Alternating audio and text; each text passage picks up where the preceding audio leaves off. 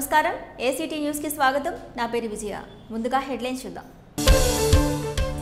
వాతావరణ పరిస్థితులపై సమీక్ష నిర్వహించిన సీఎం చంద్రబాబు వాతావరణంలో మార్పులు గమనిస్తే నష్ట నివారణ చర్యలు చేపట్టవచ్చని అధికారులకు సూచించిన సీఎం. రాష్ట్ర వ్యాప్తంగా ఆందోళన బాటపట్టిన ప్రభుత్వ ఉద్యోగులు ధర్నా చౌక్లో ధర్నా నిర్వహించిన ఉద్యోగ సంఘాల జేఏసీ సిపిఎస్ అవుట్సోర్స్ విధానాలను రద్దు చేయాలని డిమాండ్ చేసిన ఎన్జీఓ నేత అశోక్ బాబు. రాష్ట్ర అభివృద్ధిలో ప్రతి ఒక్కరూ భాగస్వామ్యం అవ్వాలి. మూడేళ్ళలో ప్రభుత్వం ఎంతో చేసింది. ఐదవ రోజు నవ నిర్మాణ దీక్షలో పాల్గొని ప్రసంగించిన మంత్రులు యనమల కామినేని కొల్లు రవీంద్ర. రెండు వేల పంతొమ్మిది ఎన్నికల్లో ప్రత్యేక హోదానే ప్రధాన అంశం. ప్రతిపక్షాలను విమర్శించేందుకే నవ నిర్మాణ దీక్షలన్న సిపిఐ రాష్ట్ర కార్యదర్శి Ramakrishna.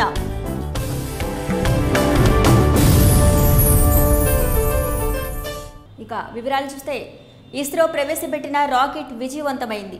GSLV mark three D one success పట్ల అభినందనలు వెల్లువెత్తుతున్నాయి. శాస్త్రవేత్తలు బాహుబలిగా అభివర్ణిస్తున్న GSLV mark three D one ప్రయోగాన్ని మధుర స్మృతిగా తీర్చిదిద్దడంలో ఇస్రో బృందం సాంకేతిక ప్రజ్ఞా దురీణతకు యావత్ జాతి సాహు అంటూ అభివాదాలు తెలుపుతోంది. GSLV mark three D one నిన్న సాయంత్రం జీశాట్ నైన్టీన్ సమాచార ఉపగ్రహాన్ని నిర్దేశిత కక్షల్లోకి విజయవంతంగా ప్రవేశపెట్టింది. పూర్తి స్వదేశీ పరిజ్ఞానంతో పద్దెనిమిది సంవత్సరాల నిబద్ధ కృషి ఫలించినట్లయింది. రెండు వేల మూడు వందల కిలోలకు పైగా ఉపగ్రహాల్ని అనివార్యంగా విదేశీ ప్రయోగ సంస్థల తోడ్పాటుతోనే అంతరిక్షంలోకి పంపాల్సిన దుస్థితి ఇన్నాళ్ళు ఇస్రోను వెన్నాడింది. ఇప్పుడిక నాలుగు వేల కిలోల వరకు బరువు తూగే ఉపగ్రహాల్ని జీటీఓలోకి పదివేల కిలోల దాకా దిగువ భూకక్షలోకి ప్రవేశపెట్టగల సామర్థ్యం భారత్కు వనగూడిందని నిన్నటి ప్రయోగ సాఫల్యం సాధికారికంగా నిరూపించింది. రియల్ టైంలో వాతావరణంలోని మార్పులను గమనించడం ద్వారా నష్ట నివారణ చర్యలను ముందస్తుగా చేపట్టవచ్చని ముఖ్యమంత్రి చంద్రబాబు నాయుడు అన్నారు. రాష్ట్రంలోని వాతావరణ పరిస్థితులు వర్ష సూచనలపై ముఖ్యమంత్రి ఉన్నతాధికారులతో సమీక్ష నిర్వహించారు. ఆగస్టులో రానున్న వర్షాభావ పరిస్థితులను దృష్టిలో ఉంచుకొని ఇప్పటి నుంచి అధికార యంత్రాంగం పంటల్ని కాపాడుకునేందుకు సిద్ధంగా ఉండాలని సీఎం సూచించారు. రాష్ట్ర విభజన తర్వాత రాష్ట్రంలో ఆర్థిక లోటు ఉన్నప్పటికీ ప్రజా సంక్షేమం కోసం పెద్దపీట వేశామని ఆర్థిక శాఖ మంత్రి యనమల రామకృష్ణుడు తెలిపారు. రాష్ట్రాన్ని నంబర్ వన్గా తీర్చిదిద్దేందుకు అన్ని సంస్కరణలు చేపడుతున్నట్లు చెప్పారు.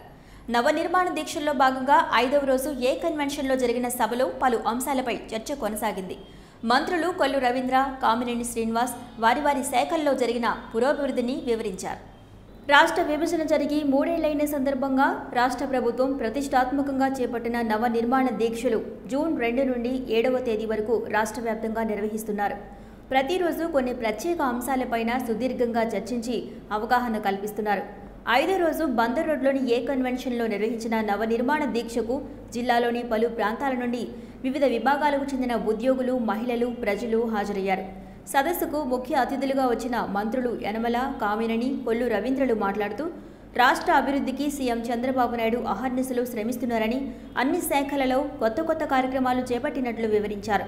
వినూత్నంగా టెక్నాలజీని వినియోగించుకొని రియల్ టైం పరిపాలన అందిస్తూ అవినీతిని అంతమొందిస్తున్నారని చెప్పారు. విద్య వైద్యం ఉపాధి ఉద్యోగ కల్పనకు ప్రాధాన్యత కల్పిస్తూ చర్యలు చేపట్టడం వలన మంచి ఫలితాలు వచ్చాయని వివరించారు.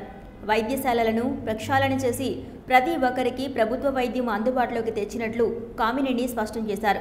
కొల్లు రవీంద్ర మాట్లాడుతూ ప్రతి మహిళ ఆదాయం పెంపొందించుకునేలా రుణాలు అందించడంతో పాటు స్కిల్ డెవలప్మెంట్ శిక్షణ ఇస్తున్నట్లు వెల్లడించారు.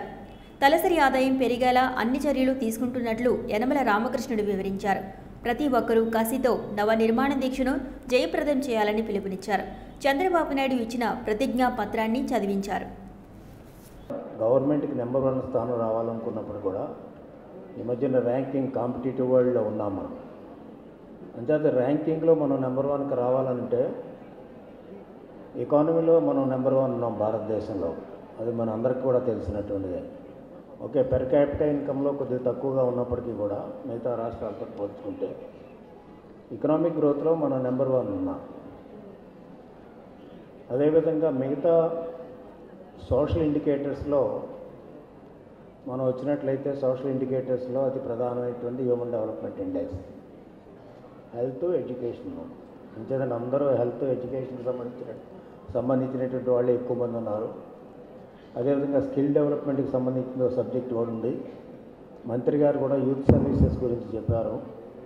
మనకి ఇప్పుడు రాబోయేటువంటి బిగ్గెస్ట్ ప్రాబ్లం ఏంటంటే అన్ఎంప్లాయ్మెంట్. అన్ఎంప్లాయ్మెంట్కి ఎడ్యుకేషన్కి ఏది కో రిలేట్ కావడం లేదు ఇప్పుడు. పూర్వం ఎంఏ చదువుకున్నా బీఏ చదువుకున్నప్పటికీ కూడా తనకి జాబ్ వస్తే జాబ్ చేసుకునేవాడు. కానీ ఇప్పుడు డెవలప్ అవుతున్నటువంటి టెక్నాలజీలో రోజుకొక టెక్నాలజీ వస్తుంది. ఈ టెక్నాలజీని అందుకోలేనటువంటి పరిస్థితిలో ఉన్నారు అందుకోవడానికి ప్రయత్నాలు చేసేటువంటి పరిస్థితిలో ఉన్నారు. అంచేత ఈ టెక్నాలజీతో అందుకోకపోయినట్లయితే ఉన్న ఉద్యోగాలు కూడా ఊడిపోయేటువంటి ప్రమాదం ఉంది. అందుకనే మనం వింటూ ఉన్నాం. పత్రికల్లో కానీ రేడియోలో కానీ అనేక రకాల ప్రచారాల ద్వారా జాబ్ లాస్ కూడా ఎక్కువగా ఉంది. నిన్నే ఒక ఆర్టికల్ చదువుతూ ఉంటే ఒక ప్రత్యేకంగా ఐటీ రంగంలోనే ఆరు లక్షల మంది మూడు సంవత్సరాల్లో ఉద్యోగాలు పోతాయనేటువంటిది ఒక రైటర్ రాశాడు. అంటే we are going to face a dangerous situation in the future అంచేత ఏంటంటే ఈనాడు మనకి ప్రొడక్షన్ ఉంది బాగా. స్టూడెంట్స్ ప్రొడక్షన్ ఉంది. అదేవిధంగా దానికి తగ్గట్టు టెక్నాలజీ వస్తుంది. ఈ టెక్నాలజీకి చదువుకున్న దాని దాదాపు నూట ఒక్క శాతం పెరిగింది ఇంపేషెంట్ అన్ని అన్ని హాస్పిటల్స్ మీరు చూస్తున్నారు. బెడ్స్ మీద ఇద్దరు తల్లులు ఇద్దరు పిల్లలు ఉంటాం. అందుకని అది మనం పెంచాలి బెడ్ సంఖ్య పెంచడానికి ప్రభుత్వం అన్ని చర్యలు తీసుకుంటాను అట్లాగే సర్జరీలు నాలుగు లక్షల ముప్పై తొమ్మిది వేలు ఇరవై చేస్తే ఇప్పుడు పది లక్షల ఇరవై ఐదు వేలు చేశారు కింద సంవత్సరం. అందుకని ఈ మనం ఫ్రీ డయాగ్నోస్టిక్స్ పెడితే అవుట్ ఆఫ్ పాకెట్ ఎక్స్పెన్సెస్ యాభై రెండు పర్సెంట్ నుంచి పదిహేడు పర్సెంట్ పడిపోయింది. మనం MCH building mother child health buildings నలభై ఆరు ఉండే పూర్వం ఇప్పుడు డెబ్బై ఏడు కొత్తగా డెబ్బై ఏడు యాడ్ చేసాం ముప్పై ఒక్క కేంద్రాలు ఎక్కువ యాడ్ చేసాం అలాగే ముఖ్యమంత్రి గారు డాక్టర్లు ఒక పద్నాలుగు వందల మందిని నర్సులు ఒక వెయ్యి మందిని ఇచ్చారు. ఇంకా త్వరలో కాంట్రాక్ట్లు తీసుకోబోతున్నాం. ఆరోగ్య రక్ష అని పేదవాళ్ళకే కాదు ఇవాళ మధ్యతరగతి కుటుంబీకులు ధనవంతులు కూడా విద్యా వైద్యం వల్ల నష్టపోతారని హెల్త్ ఫర్ ఆల్ అని first state in India health for all అని ఆరోగ్య రక్షణ ఇక్కడ ఇస్తారు చేశారు. అలాగే ఇవాళ మనం చేసేదంతా ట్రాన్స్పరెంట్గా ఉండటానికి ప్రతిదీ ముఖ్యమంత్రి గారి డాష్ బోర్డ్లోకి వెళ్తుంది. పదహాడు పదహా పదిహేడు ఐటమ్స్ వెళ్తాయి. అందులో ఇంకా కొన్ని ఇంక్లూడ్ అయ్యి కంబైన్డ్గా వెళ్తూ ఉంటాయి. రెండు వేల పదహారు పదిహేడు మొత్తం మన ఆంధ్ర రాష్ట్ర చరిత్రలో హెల్త్లో అన్ని రిఫార్మ్స్ జరిగిన ఏడాది ఎన్ని ఎక్కడా లేదు. అన్ని కొత్తవి తీసుకొచ్చాం. దానివల్ల ప్రజలకు అంత మెరుగైన సేవలు అందించగలిగాం. అది బెస్ట్ ఇయరు. దానికి అన్ని ముఖ్యమంత్రి గారి డాష్బోర్డ్లో అందరికీ మీరు చూసుకుని ఆ డాష్బోర్డ్కి వెళ్తే అన్ని ఏం జరుగుతున్నాయో అన్నీ కనపడతాయి. ఎన్టీఆర్ వైద్య పరీక్ష అని పెట్టాం. వందల కాలేజీలను ఆ రోజున ఏర్పాటు చేస్తే తర్వాత వచ్చినటువంటి కాంగ్రెస్ ప్రభుత్వం దాదాపు కాలేజీలన్నీ కూడా నిర్వీర్యం చేశారు. కాలేజీలో సరైనటువంటి మౌలిక వసతులు లేనటువంటి కారణంగా ఈరోజు మన పిల్లలు చదువుకున్న వాళ్ళల్లో టాలెంట్ లేనటువంటి పరిస్థితి ఉంది స్కిల్స్ లేనటువంటి పరిస్థితి ఉంది అనేక మంది నిరుద్యోగులుగా మిగిలిపోయినటువంటి పరిస్థితి ఉంది. ఈరోజు గౌరవ ముఖ్యమంత్రి గారు కూడా ఆలోచన చేసి ఈరోజు మన పిల్లల్లో ఎందుకంటే సరైనటువంటి స్కిల్స్ లేని కారణంగా వేరే ప్రాంతాల ఉద్యోగాలకు వెళ్ళి నిరుద్యోగాలుగా మిగిలిపోతా ఉన్నారు. దాన్ని గమనించి రెండు వేల పద్నాలుగులో ప్రభుత్వం వచ్చిన వెంటనే స్కిల్ డెవలప్మెంట్ కార్పొరేషన్ అనే ఒక కార్పొరేషన్ ఏర్పాటు చేసి ప్రతి ఒక్కరిలో ఉన్నటువంటి నైపుణ్యతను వెలికి తీసే విధంగా వాళ్ళ కార్యక్రమాలు చేస్తూ ఉంది ప్రభుత్వం. దాదాపు ఐదు వందల సెంటర్స్లో స్కిల్ డెవలప్మెంట్ కార్పొరేషన్ ద్వారా వాళ్ళలో ఒక నైపుణ్యతను పెంచే కార్యక్రమం.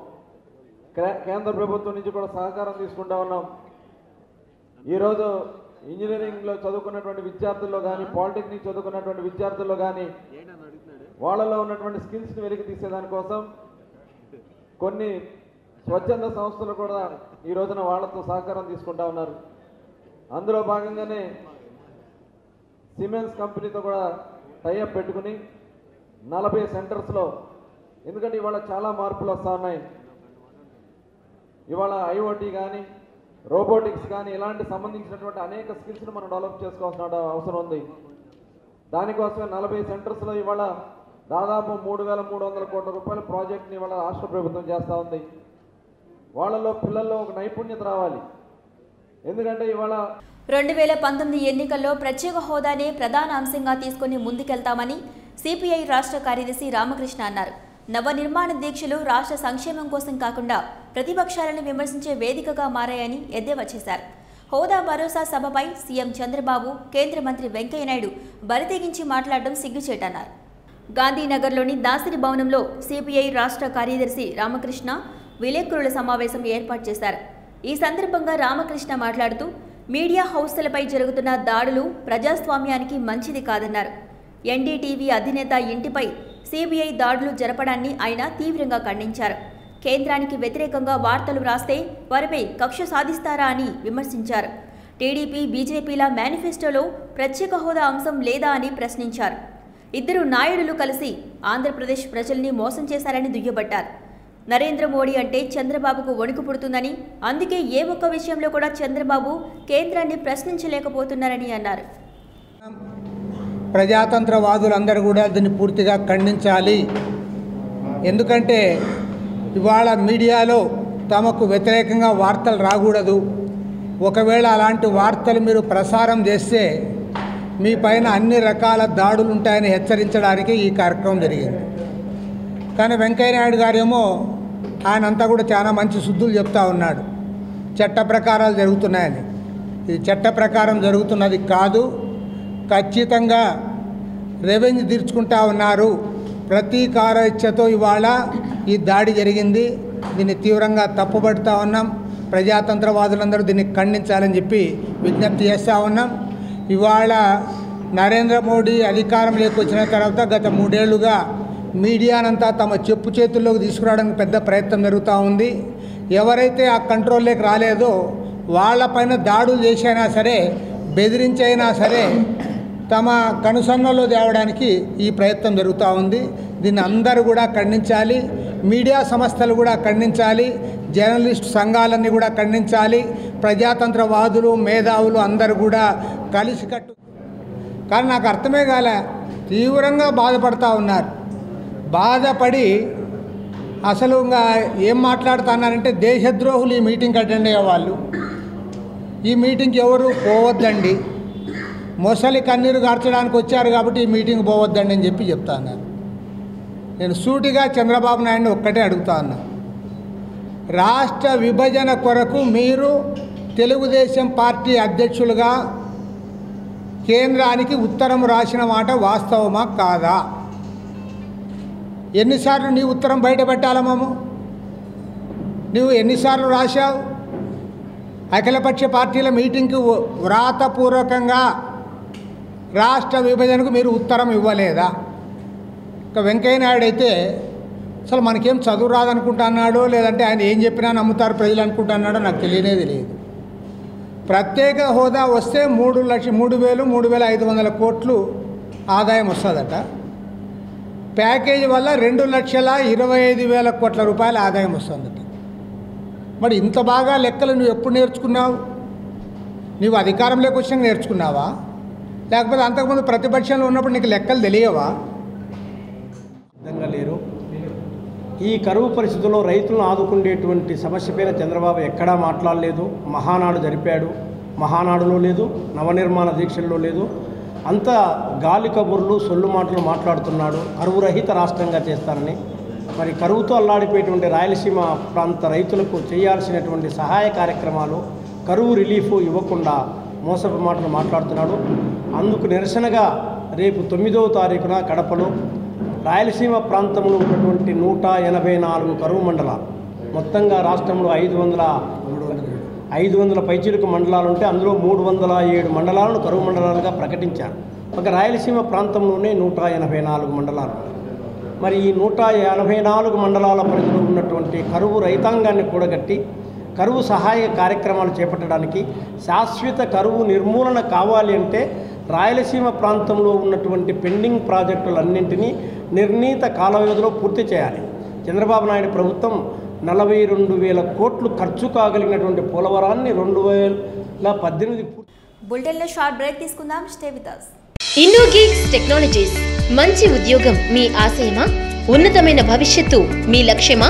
మీ లక్ష్యానికి మేం చేయూతనిస్తాం. మీ కలలను మేం నిజం చేస్తాం. Innogeeks technologies is the correct choice for your better future. Our training is based on companies requirement and we offer skill based training job oriented training project based training. Courses offer C with data structures, core Java, advanced Java, Oracle apps, PLSQL, advanced courses, digital marketing data visualization big data SEO soft skills quant and reasoning course complete అయిన స్టూడెంట్స్కు ప్రముఖ కంపెనీలలో interview opportunities కల్పించబడను. Hundred percent placement assistance tenth మరియు inter విద్యార్థులకు computer కోర్సులు కలవు. Invest your time in right place for better future Innogeeks technologies HRT plaza second floor Nara Chandrababu Naidu colony Benz circle Vijayawada phone zero eight double six two four nine two triple five మా website డబ్ల్యూడబ్ల్యూడబ్ల్యూ dot Innogeeks dot com back news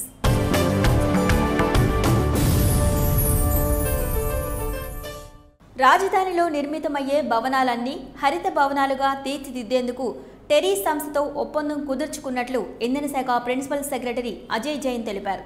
green buildings వలన సమ్మిళిత ప్రయోజనాలు ఉంటాయని చెప్పారు. TERI technology వలన విద్యుత్ నీరు అన్నీ పొదుపు అవుతాయని వెల్లడించారు. సిఆర్డీఏ కార్యాలయంలో ఏర్పాటు చేసిన విలేకరుల సమావేశంలో రాజధాని అభివృద్ధి ఎనర్జీ కన్జర్వేషన్ బిల్డింగ్ కోడ్లపై మాట్లాడుతూ స్టార్టప్ ఏరియాలో బ్లూ గ్రీన్తో కూడిన భవనాలు రాజధానిలో నిర్మించేందుకు ది ఎనర్జీ రీసోర్సెస్ ఇన్స్టిట్యూట్ టెరీతో ఒప్పందం చేసుకున్నట్లు ఇంధన శాఖ ప్రిన్సిపల్ సెక్రటరీ అజయ్ జైన్ తెలిపారు. Amaravati development corporation chairman Lakshmi Parthasarathi మాట్లాడుతూ రెండు వందల పదిహేడు చదరపు కిలోమీటర్ల పరిధిలో పచ్చదనం పరిడవిల్లేలా చర్యలు తీసుకుంటామన్నారు. ప్రపంచ పర్యావరణ దినోత్సవం సందర్భంగా ప్రత్యేకంగా రూపొందించిన పోస్టర్ను ఆవిష్కరించారు. టెరీ సంస్థకు చెందిన సెల్ను విజయవాడలో కూడా ఏర్పాటు చేశామని ఆ సంస్థ డైరెక్టర్ సంజయ్ సేత్ తెలిపారు.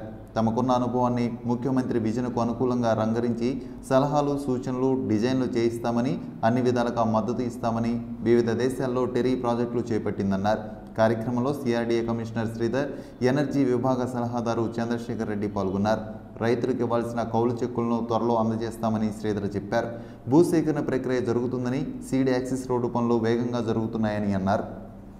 పబ్లిక్ బిల్డింగ్స్లోనూ అదేవిధంగా ప్రైవేట్ బిల్డింగ్స్లో కూడా వారి యొక్క టెక్నికల్ సహాయ సహకారాలు అందించడం జరుగుతోంది. దాంట్లో భాగంగా వారి యొక్క ఎక్స్పర్ట్ టీము అని మన సిఆర్టీఏలో వారు ఉంచడం జరుగుతుంది.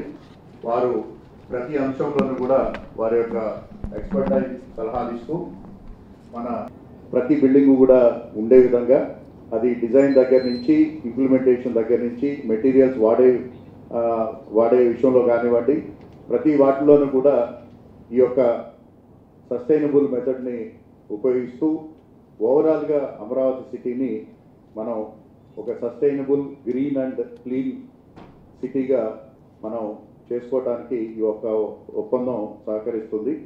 అలాగే ఈ కార్యక్రమానికి ఇచ్చేసినటువంటి మన ప్రిన్సిపల్ సెక్రటరీ శ్రీ అజయ్ జైన్ గారికి అలాగే టెరీ సంస్థ ఎగ్జిక్యూటివ్ డైరెక్టర్ అయినటువంటి శ్రీ సేత్ గారికి అలాగే ADC chairman and managing director మన లక్ష్మీ పార్సాది మేడం గారికి అలాగే ఈ యొక్క కార్యక్రమాన్ని ముందుండి నడిపిస్తున్నటువంటి Andhra Pradesh renewable energy It's going to be right from site planning to uh, uh, wa- waste management, to water management, to energy efficient building design, to sustainable habitats. I think all of it we are going to be supporting, uh, including renewable integration. So we, what we propose to do is work together with you all within your premises. So we will create and establish a cell here, uh, and uh, and a cell of experts, which is going to be uh, working and hand holding your own professionals in taking this great initiative uh, uh, forward. Uh, This is, of course, the, you know, the vision of your Honorable Chief Minister, and I think that has really brought us together. The- We were very fortunate that the Commissioner of CRDA was uh, in Delhi, in- uh, and he visited Delhi's office. We discussed with our Director General, and he was accompanied by, of course, uh, the CEO of SECM, uh, Mr. Chandrasekhar Reddy. During that discussion, we had agreed that we will uh, frame the broad modalities for taking this initiative forward. I have submitted the proposal uh, to the CRDA for its consideration.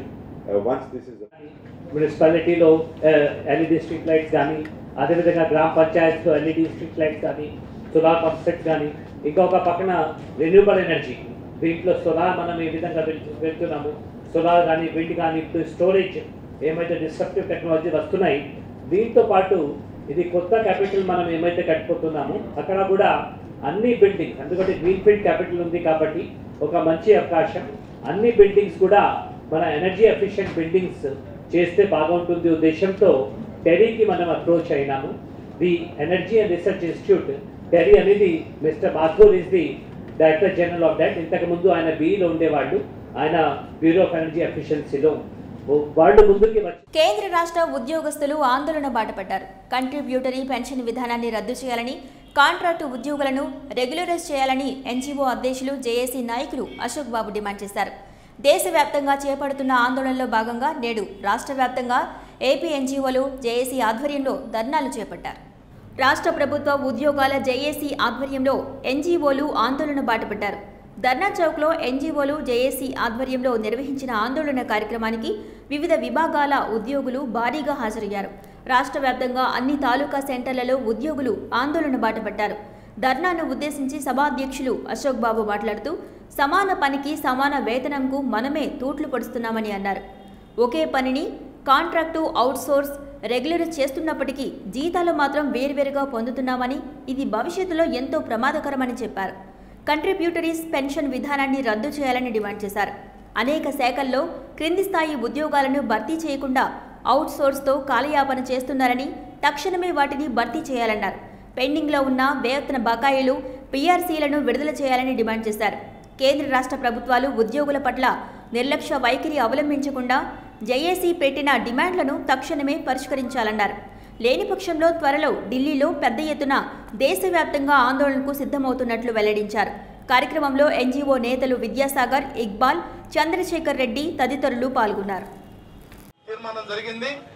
చాలా రాష్ట్రాల్లో పెద్ద పెద్ద భారీ ర్యాలీలు చేస్తున్నారు. అయితే ఇక్కడ మనకి ఆంధ్రప్రదేశ్లో ఉష్ణోగ్రత తీవ్రంగా ఉంది కాబట్టి ర్యాలీల వల్ల అటు పెన్షన్స్ కానీ చిన్న చిన్న ఉద్యోగస్తులు కానీ వయసు వాళ్ళకి ఇబ్బంది ఉండదనే ఉద్దేశంతోనే ఈ రోజున పది నుంచి ఒంటి గంట వరకు తాలూకా స్థాయి నుంచి మరి జిల్లా స్థాయిలో అన్ని స్థాయిల్లో కూడా ఈ ధర్నా కార్యక్రమాన్ని మనం చేపట్టడం జరిగింది.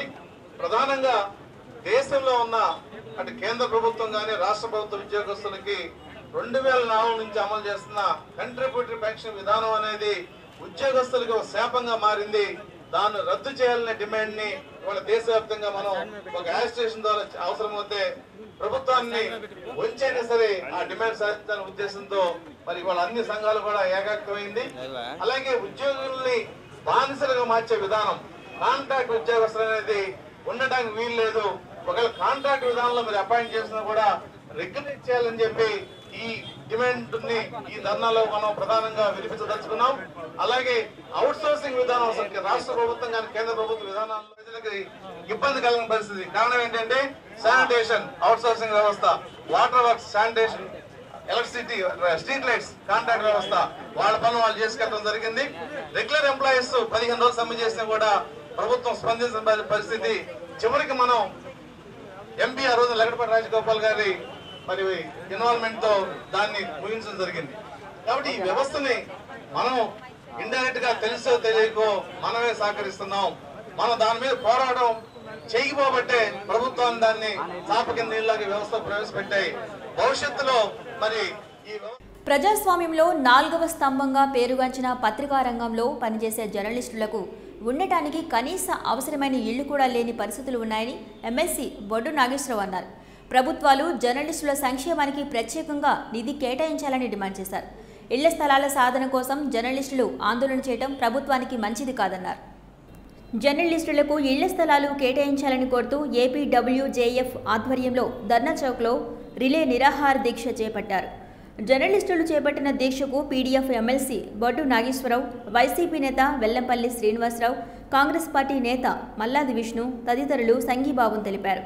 ఈ సందర్భంగా ఎమ్మెల్సీ బొడ్డు నాగేశ్వరరావు మాట్లాడుతూ జర్నలిస్టు పేరుకు పెద్ద హోదా కల్పిస్తున్నారు కానీ వారి జీవనం మాత్రం చాలా దుర్భరంగా ఉంటుందన్నారు.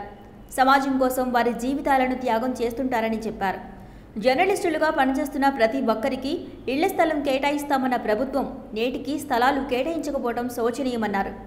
గతంలో పొందిన స్థలాలలో ఇళ్ళు నిర్మించుకునేలా రుణాలు మంజూరు చేయాలని కోరారు. నిత్యం జర్నలిస్టులను పలు విధాలుగా ఉపయోగించుకునే ప్రభుత్వాలు వారిని విస్మరించడం తగదని హితో పలికారు.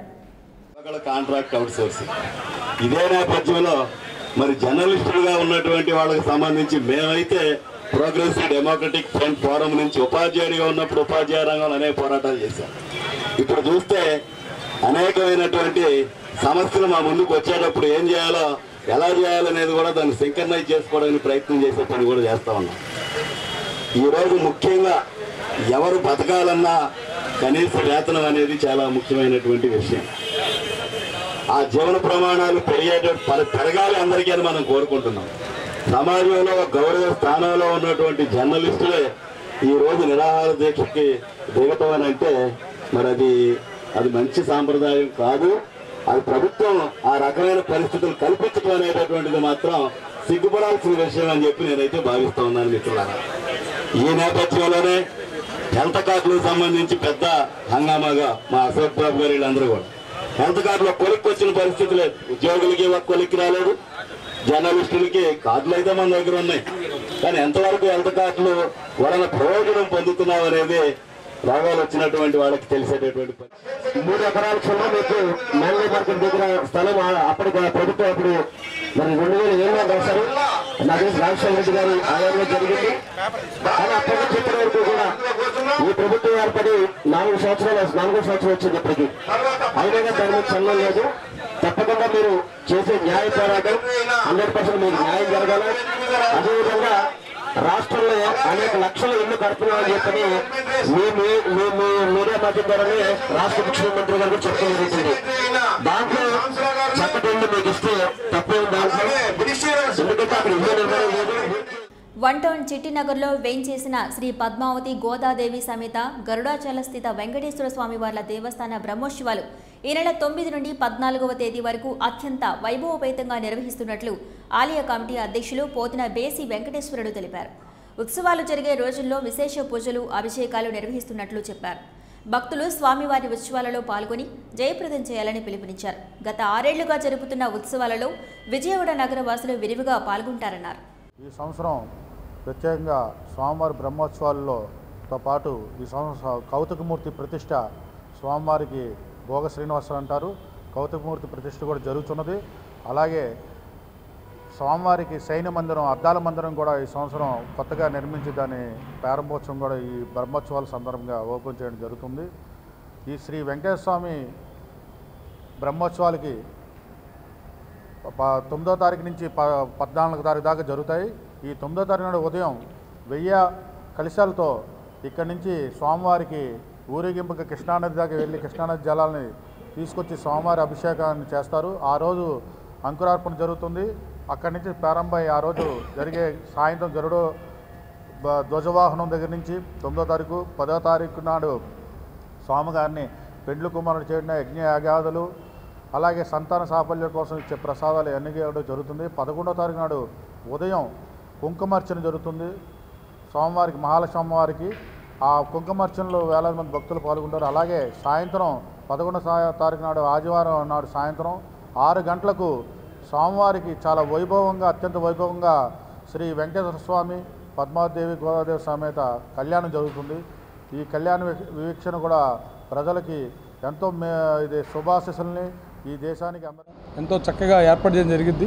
మొదటి రోజు ఉదయం కలసి పూజతో ప్రారంభమై ఐదు రోజులు ఎంతో అద్వితీయంగా వేద పండితులు చేయి కార్యక్రమాలు జరుగుతూ ఉంటాయి. తప్పనిసరిగా భక్తులందరూ పాల్గొని ఆ అయ్యవారిని దర్శించి వారి ఆశీస్సు పొందాలని కోరుకుంటూ ఉన్నాం. వారందరికీ వచ్చిన వారందరికీ కూడా మా కమిటీ ఆధ్వర్యంలో వారందరికీ అన్ని సౌకర్యాలు ఏర్పాటు చేసి తీర్థ ప్రసాదం ఏర్పాటు చేస్తారు. ఆఖరి రోజు పదహారో తారీఖున ఇక్కడ అన్నప్రసాదం జరిగింది భక్తులందరూ కూడా చుట్టుపక్కలందరూ కూడా వచ్చి ఆ అయ్యవారి యొక్క ప్రసాదం స్వీకరించి వారి యొక్క కృపకు పాత్ర కావాలని మీ ద్వారా కోరుకుంటూ ప్రతిరోజు కూడా మీరు ఛానల్ ద్వారా కూడా అయ్యవారిని చూడలేని వారికి విజయవాడ నగరంలో రాత్రి కురిసిన వర్షానికి పలుచోట్ల చెట్లు కూలాయి. విద్యుత్ స్తంభాలు వాలిపోయాయి. ఎర్రకట్ట సమీపంలోని నైజాం కట్ట వద్ద రోడ్డు అంచు కూలిపోయింది. కట్ట అంచు శిథిలాలు ఇళ్ళపై పడడంతో స్థానికులు బెంబేలెత్తారు. అయితే ఎలాంటి ప్రాణ నష్టం జరగకపోవడంతో ఊపిరి పీల్చుకున్నారు. ఇప్పటికైనా రోడ్లు కట్ట అంచులను బలంగా నిర్మించాలని కోరుతున్నారు. పడిపోయింది బావి ఇది. మా అందరు భయం వేస్తుంది. చిన్న చిన్న పిల్లలు ఉన్నారు. ఆ, నేను హార్ట్ హార్ట్ ఆపరేషన్ మనిషి. ఇది ఎప్పుడు ఇది కూడా ఎప్పుడు పగిలిపోద్దని రాత్రి అంతా పండుకోలేదు. టీలు కాఫీలు చేసుకొని కూర్చొని చూస్తున్నాం. దేవుడి దానిలో అన్ని రాళ్ళు అవన్నీ పెట్టాం మేము మోపు పెట్టాం. ఇప్పుడు జారిపోద్దో భయం వేస్తుంది. ఇక్కడ దాకా కట్టండి బాగా శుభ్రంగా కట్టండి ఈసారి. అది. అవును వచ్చారు.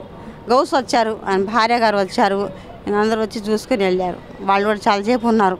పడంగానే వచ్చారు వాళ్ళు. ఫోన్ చేస్తే వచ్చారు పాపం. అందరూ బాగా చూశారు. నా పేరా? నా పేరు అజిజునిసా. సార్ ఇక్కడ అప్పుడు ఈ వసతులు లేవు.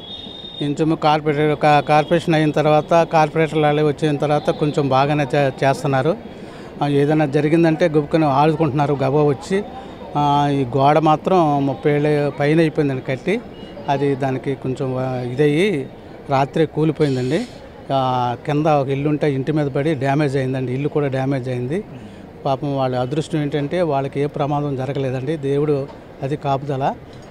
కనుక గనుక మరి పెద్దలందరూ సహకరించి దీన్ని శాశ్వత సహకారం చేయాలని మేము ఏసీటీ న్యూస్ ముగించే ముందు హెడ్లైన్స్ మరోసారి చూద్దాం. వాతావరణ పరిస్థితులపై సమీక్ష నిర్వహించిన సీఎం చంద్రబాబు. వాతావరణంలో మార్పులు గమనిస్తే నష్ట నివారణ చర్యలు చేపట్టవచ్చని అధికారులకు సూచించిన సీఎం. రాష్ట్ర వ్యాప్తంగా ఆందోళన బాటపట్టిన ప్రభుత్వ ఉద్యోగులు. ధర్నా చౌక్లో ధర్నా నిర్వహించిన ఉద్యోగ సంఘాల జేఏసీ సిపిఎస్ అవుట్సోర్స్ విధానాలను రద్దు చేయాలని డిమాండ్ చేసిన ఎన్జీఓ నేత అశోక్ బాబు. రాష్ట్ర అభివృద్ధిలో ప్రతి ఒక్కరూ భాగస్వామ్యం అవ్వాలి. మూడేళ్ళలో ప్రభుత్వం ఎంతో చేసింది. ఐదవ రోజు నవ నిర్మాణ దీక్షలో పాల్గొని ప్రసంగించిన మంత్రులు యనమల కామినేని కొల్లు రవీంద్ర. రెండు వేల పంతొమ్మిది ఎన్నికల్లో ప్రత్యేక హోదానే ప్రధాన అంశం. ప్రతిపక్షాలను విమర్శించేందుకే నవ నిర్మాణ దీక్షలన్న సిపిఐ రాష్ట్ర కార్యదర్శి రామకృష్ణ.